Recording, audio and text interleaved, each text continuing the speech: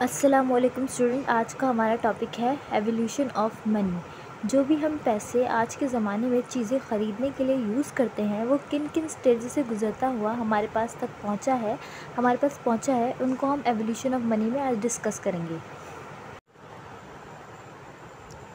सबसे पहले हम देखते हैं कि अर्लियर टाइम्स में क्या होता था, पैसों से पहले क्या होता था। पैसों से पहले जो है वो सेल्फ सफिशेंट फैमिलीज़ होती थी। लोग जो है वो अपनी ज़रूरतें खुद से पूरी कर लिया करते थे और अपना जो है वो खाने का जो सारा सामान है वो घर में खुद ही उगा लिया करते थे। इसलिए जो है वो उनको ज़रूरत नहीं पड़ती थी कि वो दूसरे लोगों के पास जाएँ, उनसे चीज़ें ख़रीदें, उनको पे करें, इसलिए किसी पैसे की भी ज़रूरत नहीं थी। लेकिन आहिस्ता आहिस्ता लोगों को ये महसूस हुआ कि जो है वो सारे काम वो खुद से नहीं कर सकते। उनको जो है वो एक्सचेंज करनी पड़ेंगी। चीज़ें, उनको दूसरों से चीज़ें ख़रीदनी पड़ेंगी। इसी तरह कॉमोडिटी मनी जो है वो इंट्रोड्यूस हुआ। Commodity money need was fail to exchange good इसमें जो है वो लोगों को ये ज़रूरत महसूस हुई कि जो है वो एक चीज़ के बदले जो है वो दूसरी चीज़ लें। क्योंकि लोगों को ज़रूरत होती थी, उनके पास वो चीज़ नहीं होती थी जो दूसरों के पास होती थी। इसलिए जो है, वो कम्युनिटी मनी इंट्रोड्यूस हुआ। तो कम्युनिटी मनी जो है, यहीं से बाटर सिस्टम का भी आगाज़ हुआ। बाटर सिस्टम में क्या हम क्या करते हैं, एक चीज़ के बदले दूसरी चीज़ जो है, वो लेते हैं। सो कम्युनिटी मनी में जो है, वो लोग जो है, वो पीपल जो है, वो एक्सचेंज करते हैं raw material primary agriculture product valuable items हो गए, जैसे गोल्ड और सिल्वर हो गए एग्रीकल्चर प्रोडक्ट में वीर स्किन जानवर की स्किन आ गई राइस हो गई काउस शीप्स गोट ग्रेन्स ये सारी चीज़ें शामिल होती हैं कम्युनिटी मनी में। तो ये चीज़ें एक्सचेंज करके लोग जो हैं वो अपनी ज़रूरत की चीज़ें उनसे लेते थे।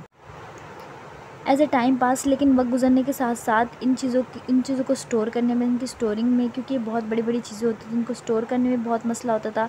इनकी ट्रांसपोर्टेबिलिटी में, इनको एक जगह से दूसरी जगह भेजने में बहुत मसला होता था और उनकी डिविजिबिलिटी में। फॉर एग्ज़ाम्पल अगर हमें किसी शख्स से कोई चीज़ ख़रीदनी है और अगर उसको हम गाय दे रहे हैं, उसको काव दे रहे हैं तो उसको हम किस तरह से डिवाइड करेंगे? इसको डिवाइड करने में बहुत ज़्यादा मसला होता था। इसलिए कम्युनिटी मनी के बाद जो है, वो हमारे पास मटैलिक मनी इंट्रोड्यूस हुआ कम्युनिटी मनी के बाद हमारे पास मटैलिक मनी इंट्रोड्यूस हुआ। मटैलिक मनी हमारे पास इंट्रोड्यूस इसलिए हुआ क्योंकि कम्युनिटी मनी को ट्रांसपोर्ट करने में, उसको स्टोर करने में, उसको डिवाइड करने में बहुत ज़्यादा मसला होता था। इस वजह से हमारे पास मेटालिक मनी इंट्रोड्यूस हुआ। अच्छा अब कम्युनिटी मनी जो है वो गोल्ड और सिल्वर एक्सचेंज होते थे। उसमें गोल्ड और सिल्वर लोग देते थे एक चीज़ के बदले जब दूसरी चीज़ लेते थे, लेकिन ये अनकॉइन मेटल हुआ करते थे। वो उसको कॉइन की सूरत में नहीं दिया गया था। इस वजह से क्या होता था compromise in quality and quantity because of its mixing with the precious metal इस वजह से जो बहुत ज़्यादा कीमती मेटल था ना, वो जो सस्ते वाले मेटल के साथ मिल जाता था और उसकी क्वालिटी और क्वान्टिटी में बहुत ज़्यादा फ़र्क पड़ जाता था। लेकिन उसके बाद क्या हुआ कोइनेज डिवेलप हो गया। कि जो गोल्ड और सिल्वर है, उसको कॉइन की फॉर्म दे दी गई। In coinage metal stamp on both side coinage में क्या होता था? स्टैम्प मेटल को जो है गोल्ड और सिल्वर को कोई भी मेटल जितने भी किलो का था उसको दोनों साइड पे हम स्टैम्प करते हैं। स्टैम्प करते थे ताकि जो लोग हैं उसको क्लिप ना कर सकें और उसको डीबेस ना कर सकें, उसको काट ना सकें, उसकी क्वालिटी और क्वान्टिटी पर कोई फ़र्क ना पड़े। लेकिन वक्त गुजरने के साथ साथ as time pass coin clip and debase and melt down coin को भी लोगों ने क्लिप करना शुरू कर दिया, उसकी क्वालिटी और क्वान्टिटी को ख़राब करना शुरू कर दिया, उसको डीबेस करना शुरू कर दिया और उसको मेल्ट डाउन करना शुरू कर दिया, उसको पिघलाना शुरू कर दिया। उसकी ट्रांसपोर्टेशन और उसकी स्टोरेज में भी बहुत ज़्यादा मसला होता था, जो कि बहुत रिस्की और इनकन्वीनियंट काम है। पैसे इधर से लेके उधर जाना एक जगह से दूसरी जगह लेके जाना बहुत ज़्यादा रिस्की काम है। इसको चोरी होने का बहुत ज़्यादा खतरा होता है। इस वजह से मेटेलिक मनी के बाद जो है वो हमारे पास third type of money paper money introduce हुई।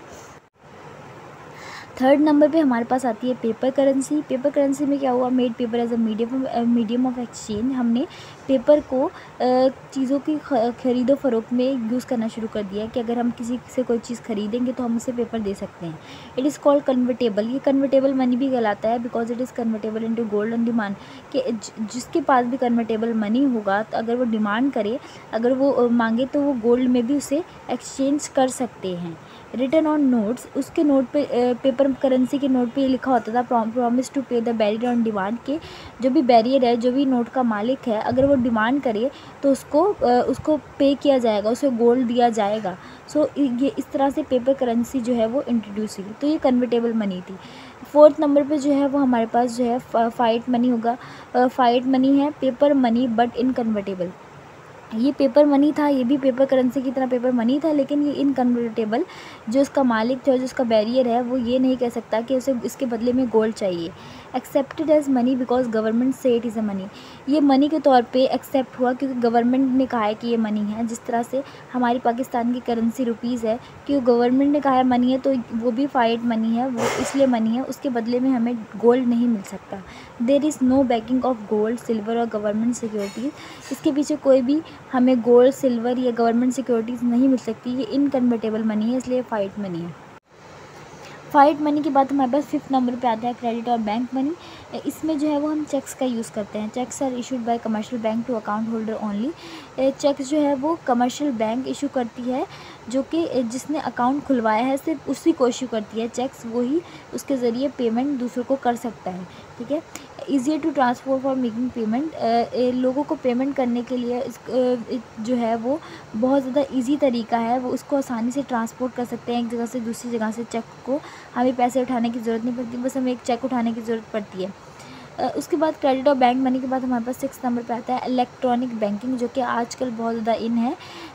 जैसे कि जैसे टेक्नोलॉजी डेवलप हो रही है, हमारे पास नई नई चीज़ें आ रही हैं और अब हमारे पास इलेक्ट्रॉनिक बैंकिंग है कि हम ऐप के ज़रिए जो है वो अपने पैसे ट्रांसफ़र कर सकते हैं। एज अ टेक्नोलॉजी डिवेल्प जैसे जैसे टेक्नोलॉजी डिवेल्प होती है paper system reduce paper system reduce होता जा रहा है, अब लोग पेपर से इलेक्ट्रॉनिक बैंकिंग की तरफ़ आ रहे हैं। Electronic fund transfer system taking its place electronic fund transfer जो है वो सिस्टम आ गए हैं, जैसे एटीएम आ गए हैं, क्रेडिट कार्ड, डेबिट कार्ड्स आ गए हैं, ये सारी चीज़ें आ गई हैं, इलेक्ट्रॉनिक जो है वो ट्रांसफ़र हो रहा है आजकल। Payment through debit card, credit card, smart card debit card, credit card और स्मार्ट कार्ड के ज़रिए पेमेंट हो रही है, ऑनलाइन बैंकिंग आ गई है लोग ऐप के ज़रिए जो है वो घर बैठे ही एक जगह से दूसरी जगह जो है वो पैसे ट्रांसफ़र कर कर सकते हैं ईज़िली